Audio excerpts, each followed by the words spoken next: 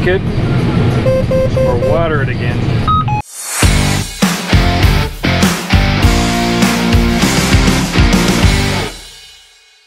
It's just a strip that uh, we filled in later with a planter because it got washed out in the bottom so it was pretty green but we'll run it through the machine. It's just a 12 row strip.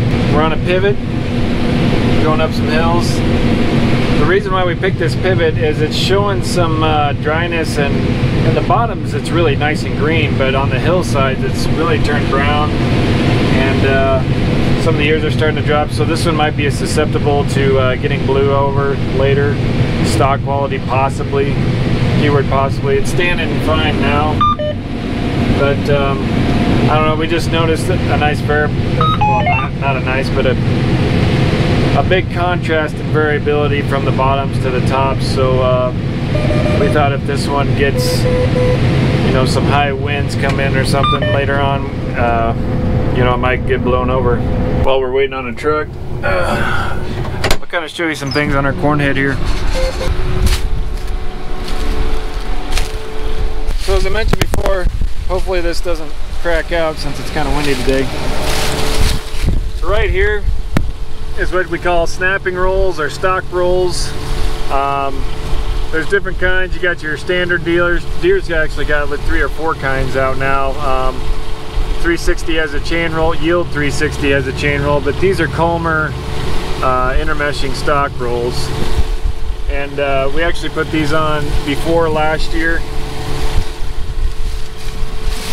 And we've had them on our prior heads before, so we ran one set on our last uh, corn heads and then we put a new set when we bought these uh, used heads last year. What that does is it really explodes these tops and it kind of wicks in a little more moisture. I don't know, that might be splitting hairs there literally, but what it also does is it breaks up that stuff that goes in there into almost confetti-like. And that's the term they like to use too, is confetti. But it's really helped us in our breakdown of our our residue. I'm gonna get back in the cab here to kind of explain this since it's kind of breezy out here. My camp, sometimes my mic cracks.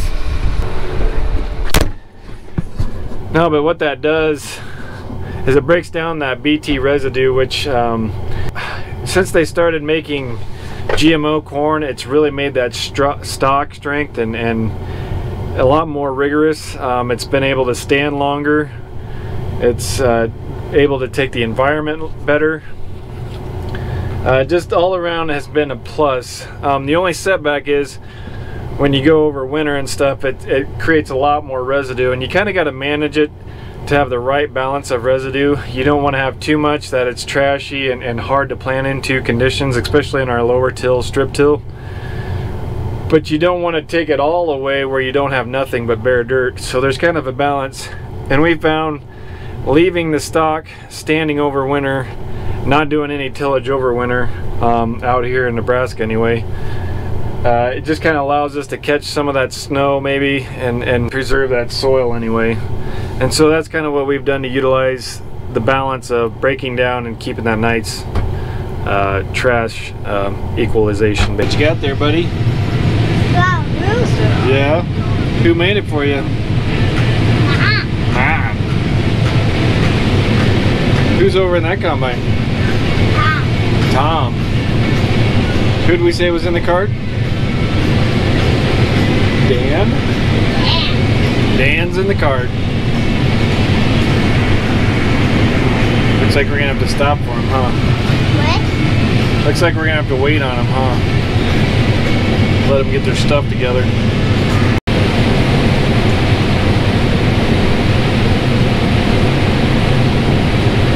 Kind of something we got to contend with in our hills here. Especially this year, we've had a lot of these washouts.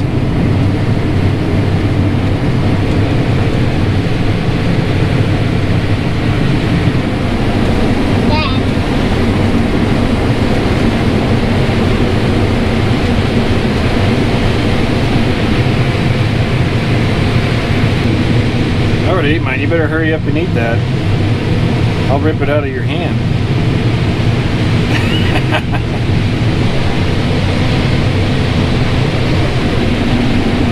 So I told Dan, the grain car driver, to come over here so I can still dump and unload on the go because it's more level. That's something you kind of got to communicate with and uh, basically talk back and forth through on the radios to tell them where we want them to be and and whatever. But because uh, every farmer knows there's always that uh, struggle between the uh, grain car driver and the combine operator.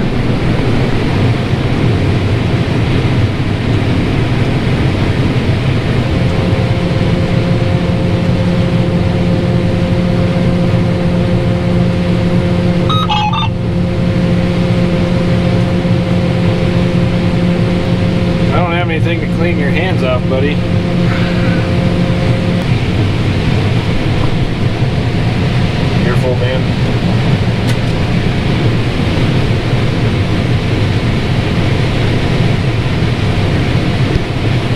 Too is when this corn's wetter, we're picking some uh, 26% corn, 27% corn right now.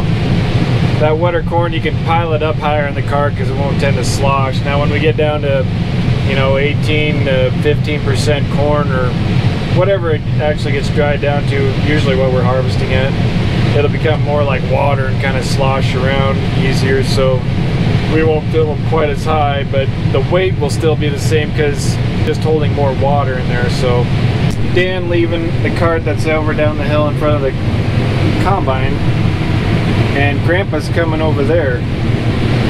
He'll pick up Tom first. So we run typically two combines and two 1100 brace bushel grain carts.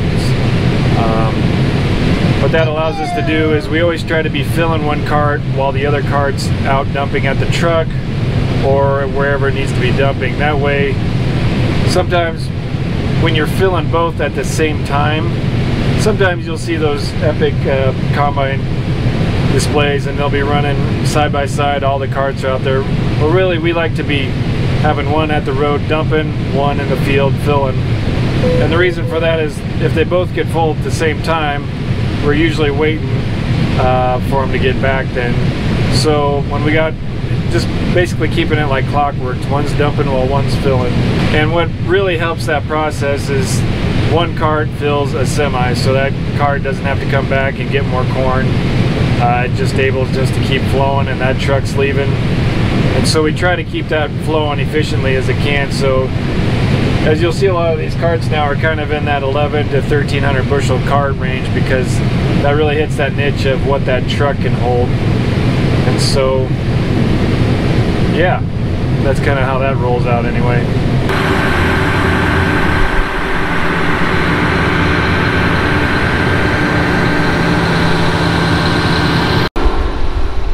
One thing we've done is about three years ago we had a tractor get vandalized during harvest. They they cut the power harness to the battery cables and and they took all the batteries out of a tractor. They also took rear lights out of a tractor, which I don't know what the street value is of that stuff, but uh, can't be very high unless they're using it for something else, which could very well be. But we placed these kind of around some of our equipment. This one's located here. I'm not going to show you all the other ones, just so you know don't know where they're at. But no, they're they're cellular game cameras, so uh, if they detect motion, uh, they'll send a picture to us to our phones, just so we can kind of maybe have a chance at catching the next person if they ever try to do it again. So stuff to keep in mind. One thing when we're uh, hauling into a, a feedlot and uh, makes the most difference is corn is actually um, shrunk down to dry bushels, meaning just because we're, they're wet bushels doesn't mean we're getting paid for that extra weight of the water in the corn. They'll actually use a shrink factor um, to to uh, get it down to the actual dry bushels. And what I mean by that is we're picking 20, uh, 27% corn right now, 26, 27. And uh, what they'll do is when you haul it in, so it's not a simple 56,000 pound load divided by 56 uh, pound test weight equals, you know, a thousand bushel.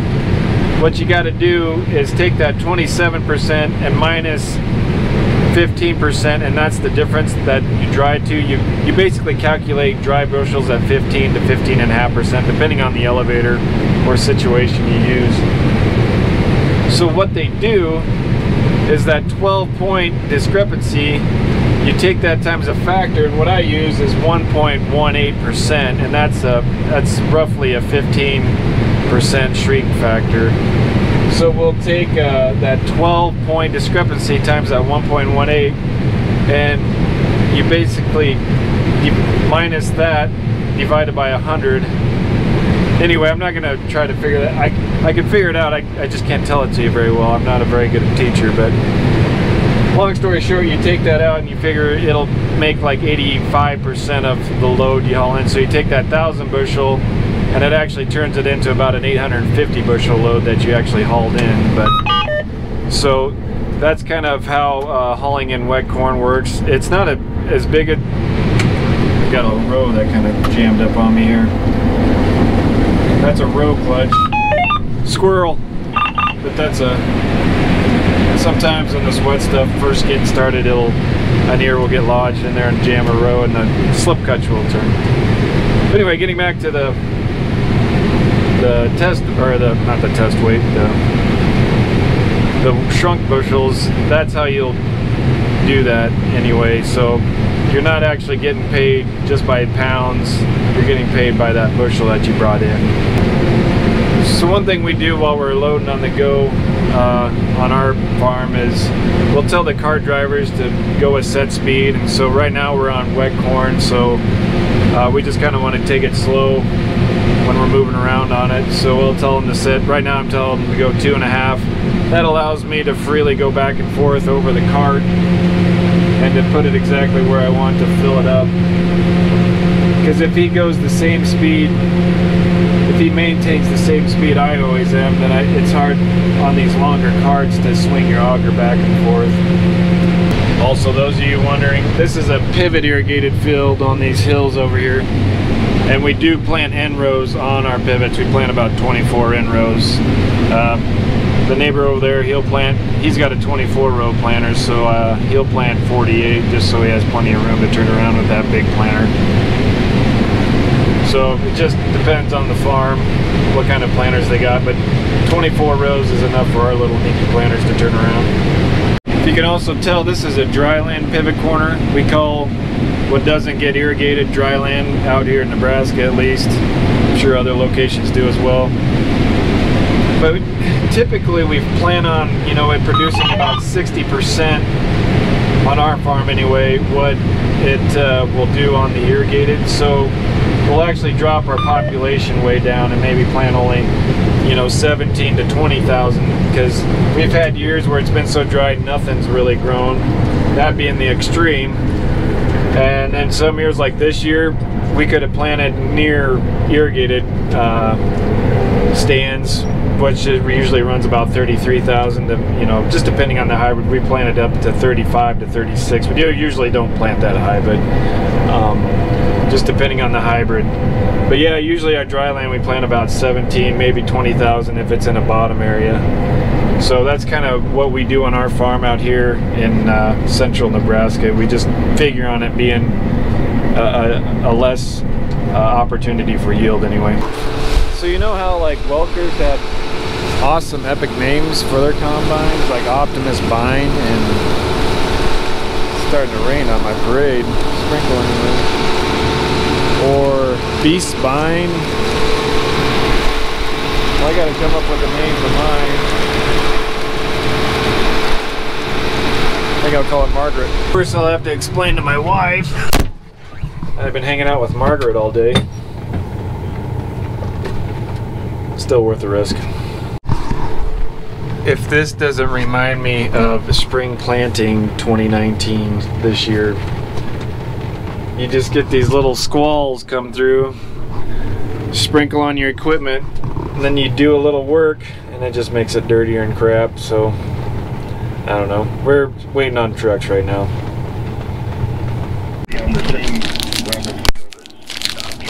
Which about 50% of the wheat that gets imported in Japan comes from the United States. And That's One one. thing a lot of farmers do while they're picking their corn is um, is validating uh, the hybrids that they've planted, um, seeing how they're doing. Uh, this stuff's really great and it helps out a lot. It um, numbers don't lie, but at the same time, there's a lot of you can't really replace uh, actually seeing what the hybrid's doing.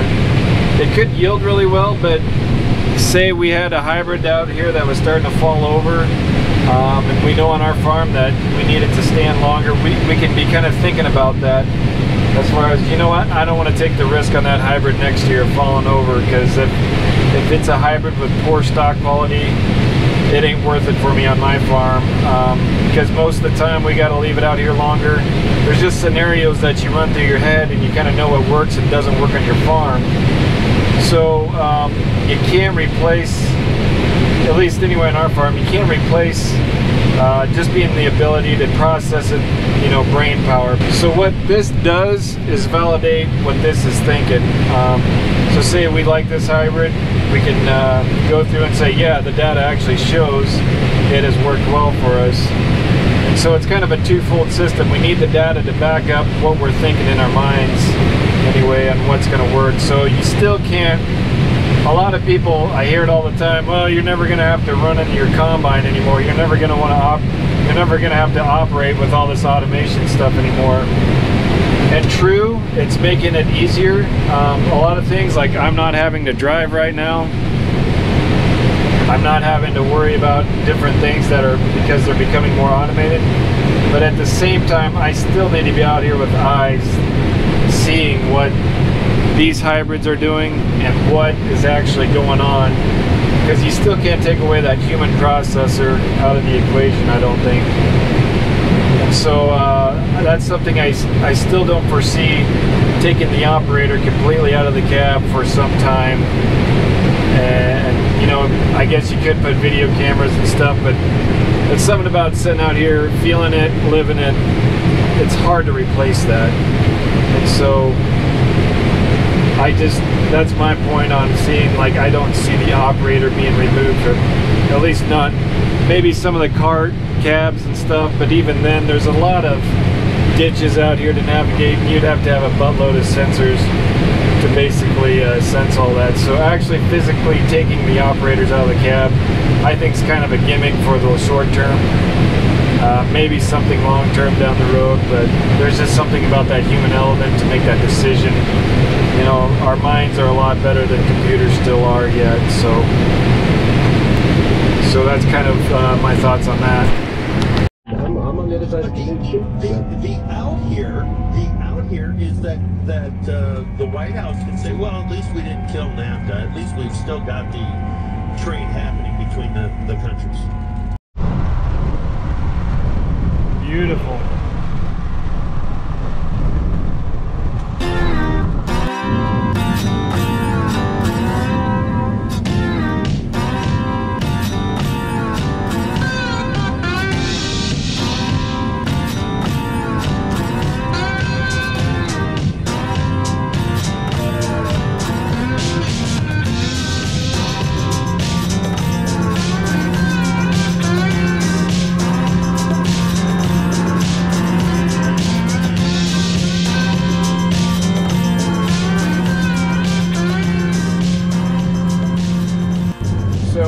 Didn't get completely all the loads hauled in that we need to for um, the feed lot. We, we ended up tallying them all up and we're just a few shorts, So sometime later we'll have to haul a few more wet corn bushel loads into that. But they're closed today. Today's Saturday, um, so we switched on over to soybeans, and um, they got some green stems, uh, so it kind of slows you down a bit. But I'm actually kind of surprised how fast I'm able to go the, with the way they look. I'm going about three and a half right now through them, and it seems to be hammering them fine. Sometimes it can, just depends on the bean. It'll, it can get you to a crawl almost. But no, we're gonna hammer away at these. They're testing anywhere from, well, we haven't got a load back from the elevator, but I think they're gonna be around that 12 to 13 range. So the beans are ready. The stems, you know, they're just green. That's just the way it is. So hopefully we can get a few beans out we'll just keep harvesting. Uh, corn, we're, I mean, we still got a lot of corn that's wet in the area. We just had some early season that was ready to go. Uh, that's why we were hauling some of that off. So uh, we were testing some the other day and it was up into the 33s and we kind of picked in some bottoms and it hit 35%. So um, we still got some pretty wet corn out there. So uh, it, I mean, harvest will be a little bit drawn out maybe. Just depends on what kind of weather we have. So I mean, that's just the big kicker right there. If it's your first time viewing, uh, we're O'Neill Family Farms. There's three brothers, uh, John, me, my older brother Tom, and then there's my father Steve, or Steve Dad. So, nope. Uh, welcome to the channel if uh, you haven't been welcome before. So, uh, hopefully you find these videos uh, somewhat informative on what we do out here in the farm. Also, some oh, commentary of maybe current issues on what's going on in the farming community. So we got some drizzle moving in. Starting to get a little crappy out, but we're almost done with this field. Hopefully we can get it done. Huskers are on. Hopefully they hold up well against Ohio State, but uh, we'll see how it goes. So go Big Red. See you guys. Thanks for watching.